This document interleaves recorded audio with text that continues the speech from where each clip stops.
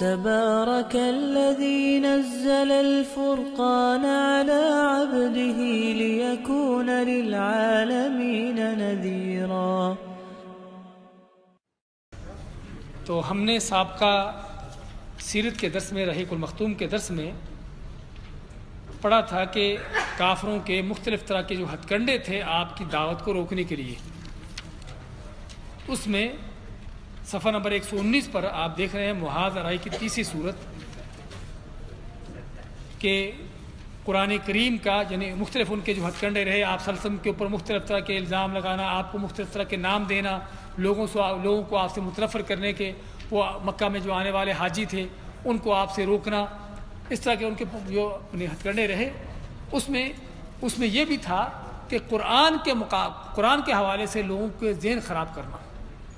قرآن کریم کے حوالے سے لوگوں کے ذہنوں کے اندر کچھ شک و شبہات پیدا کرنا کہ یہ افسانے ہیں، یہ کس طرح کی من گھڑ باتیں ہیں، کس سے کہانیاں ہیں، اس طرح کی چیزیں۔ اور ہم قرآن کریم میں اس طرح کی آیتیں بار بار پڑھتے ہیں کہ ان کی کس طرح کے اس طرح کے پراپیگنڈے تھے قرآن کریم کے حوالے سے۔ تو اور اس کا مقابلہ کرنے کے لیے بھی انہوں نے کیا کچھ کیا؟ قرآن کریم کو لوگوں سے لوگوں کو قرآن سے روکنے کے لیے ان کے کیا پراپیگنڈے رہے؟ ایک تو بتاتے خود قرآن کے بارے میں کہ کس سے کہانیاں ہیں پہلے لوگوں کی، یہ من گرد باتیں ہیں اس طرح کی چیزیں ہیں قرآن کے بارے میں۔ دوسرا، اور ان کا جو انداز رہا وہ کیا رہا؟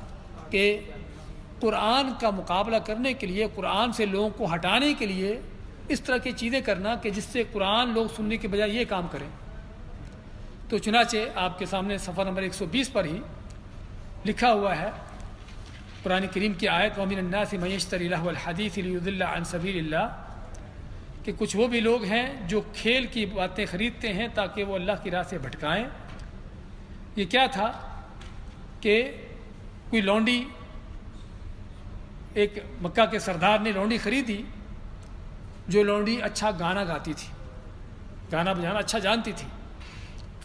تو وہ سردار کیا کرتا کہ جب کسی کو دیکھتا کہ آپ کے ساتھ وہ اٹیچ ہو رہا ہے، قرآن سے متاثر ہو رہا ہے، تو اس کو پکڑ کر لاتا اور اس لونڈی کو کہتا کہ اس کو اپنے گانے سناؤ۔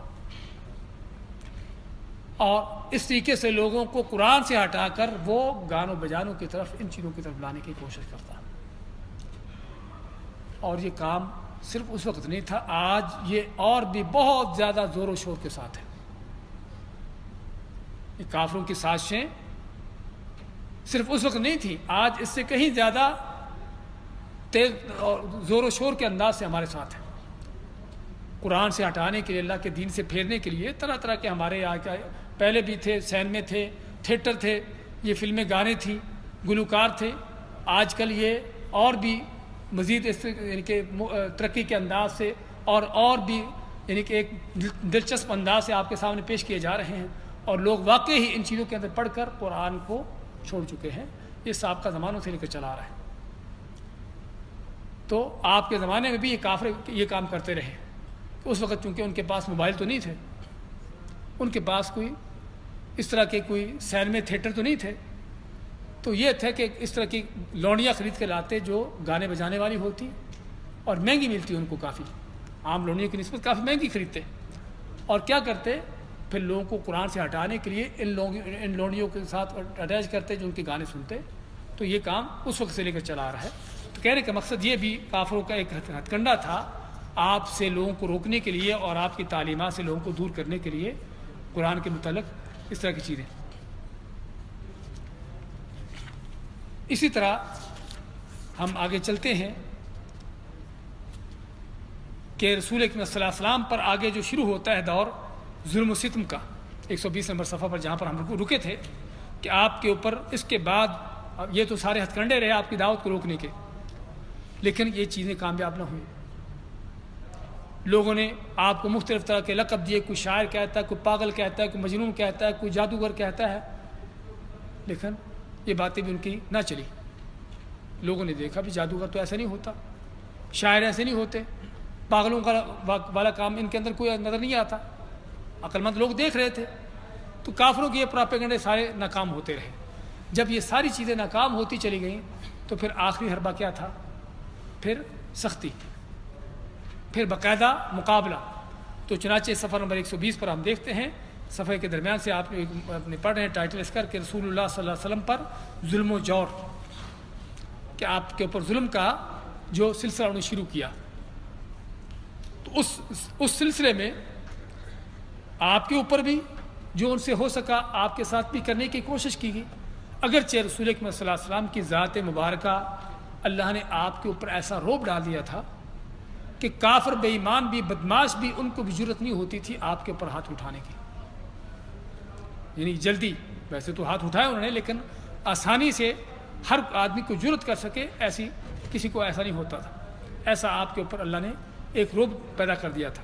ایک طرف۔ دوسری طرف کیا تھا کہ آپ کے چچا ابو طالب، اگرچہ وہ آپ کے دین پر نہیں تھے، کفر پر تھے لیکن مکہ کے چونکہ بڑے سرداروں میں سے تھے اور مکہ والوں میں ان کی بہت ایک بڑی حیثیت تھی کہ جس وجہ سے مکہ کے بہت سے بدماش آپ کے آپ کے اوپر ہاتھ اٹھانے سے وہ پیچھے رہتے تھے اور اس سے گریز کرتے تھے کہ کہیں اس وجہ سے ہمارے بنو ہاشم کے ساتھ معاملات خراب نہ ہو جائے۔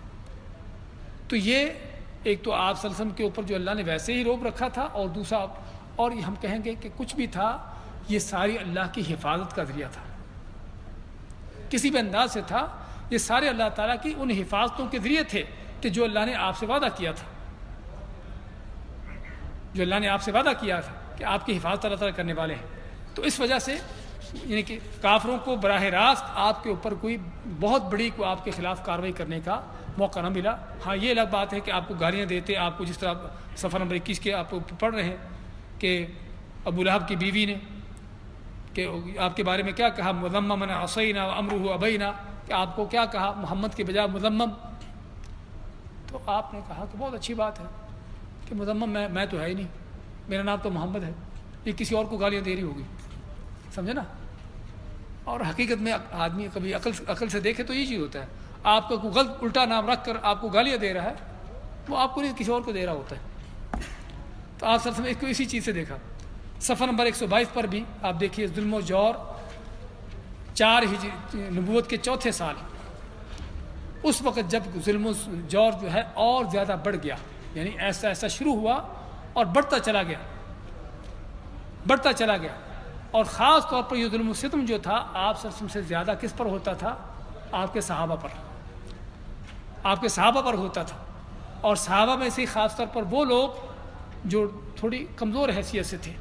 غریب قسم کے تھے یا ان کے لوگوں کے اندر کوئی یعنی کہ اپنے اس طرح کی حیثیت تھی کہ غلام تھے، اس طرح کے لوگ تھے، ان پر ان پر یہ زیادہ ظلم ستم ہوتا۔ خصوصاً غلاموں پر، جس طرح کہ حید بلال ہیں حید عمار، اور ان کے والد یاسر، اور ان کی ماں سمیہ، کہ جن کو یعنی تکلیفیں دے دے کر حتیٰ کہ شہید کر دیا گیا۔ ان کے اوپر صہیب رومی، اس طرح کے لوگ جو ہیں، ان کے اوپر جو کہ غریب، فقیر قسم کے لوگ یا معاشرے کے اندر تھوڑے کم حیثیت کے لوگ سمجھے جاتے تھے، ان کے ساتھ اس طرح کے ظلم ستم زیادہ ہوتے۔ تو اس میں پھر کیا کرتے کہ وہ صدیق رضی اللہ تعالیٰ کہ جب دیکھتے اس طرح کے غلاموں پر ظلم ستم ہوتے ہوئے، تو پھر آپ ان کو خرید کر آزاد کر دیتے۔ ان کو خرید کر آزاد کرتے رہتے۔ اور ہمارے ابن یاسر کے بارے میں آتا ہے کہ ان کے باپ یاسر اور ان کی ماں سمیہ دونوں تینوں کو، بلکہ عمار کو بھی تینوں کو مکہ کی دھوپ کے اندر اور وہاں کی وہاں کے تپتے پتھروں کے اوپر ان کو لٹا کر ان کو عذاب دیے جاتے تو اللہ کے نبی صلی اللہ علیہ وسلم ان کے پاس سے گزرے۔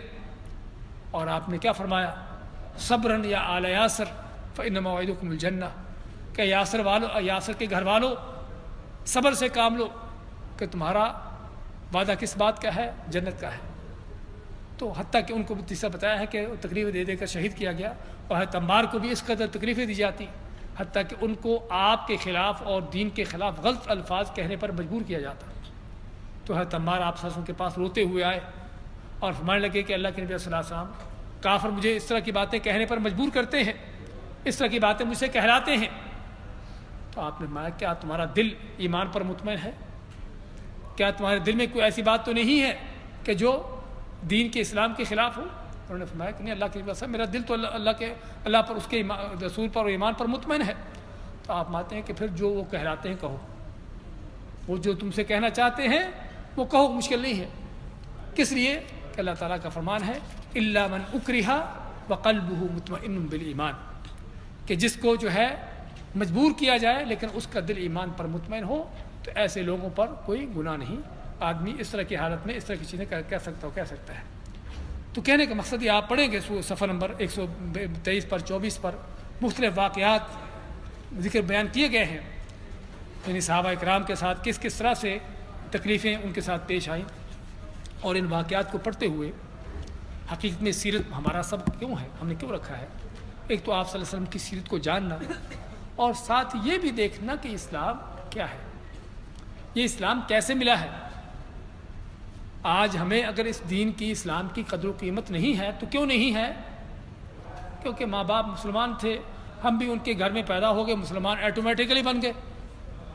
سمجھے نا؟ ایٹومیٹک مسلمان ہم۔ آٹومیٹک مسلمان ہیں۔ یہ نہیں کہ کوئی دین کو دیکھ کر ریسرچ کر کے، ڈھونڈ کر، تلاش کر کے اس کو قبول کیا ہے۔ ان واقعات کو پڑھیے، پتہ چلے کہ مسلمان کیسے بنتے ہیں۔ اگر بلال حبشی کو صہیب رومی کو، عمار بن یاسر کو ان لوگوں کو اسلام کی عظمت تھی، قدر تھی اور اس کی خاطر قربانیاں دیتے تھے، اپنی جان مار ہر چیز قربان کرتے تھے، تو اس کی وجہ کیا تھی؟ کہ انہوں نے اس دین کو دیکھا تھا، اس کی عظمت کو جانا تھا اور اس کے لیے انہوں نے قربانیاں دی تھیں۔ اس کے لیے انہوں نے مارے کھائی تھی صرف پڑھنا، کلمہ پڑھنے کی خاطر۔ آج ہمیں گھر میں بیٹھے بیٹھے دین مل گیا۔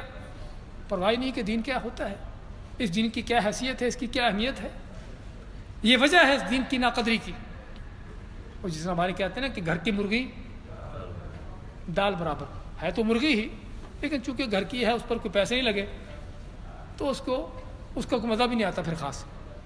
ہاں جہاں کو پیسے چار خرچ ہوتے ہیں، پھر وہ اس چیز کو مزہ آتا ہے۔